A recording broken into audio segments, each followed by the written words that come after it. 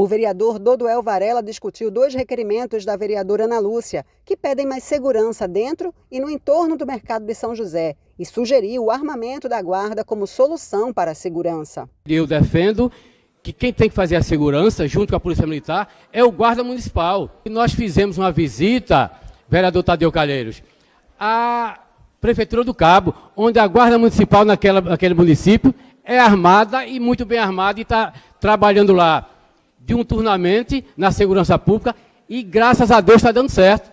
Por que não trazer esse exemplo de, de cabo, do Cabo Santo Agostinho para a cidade do Recife? Eu sei que o debate de armar a Guarda Municipal é um debate muito amplo. E não é só apenas armar a Guarda Municipal, vereador Felipe Alecrim. A gente tem que dar estrutura para a Guarda Municipal. E assim será feito.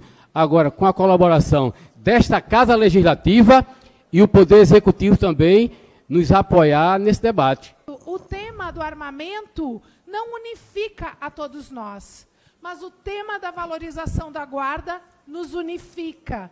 Nós temos uma unidade em Obrigado, relação vereadora. a isso. O título é sobre o armamento, mas no teor da comissão a gente tem que discutir principalmente sobre a valorização da Guarda Municipal.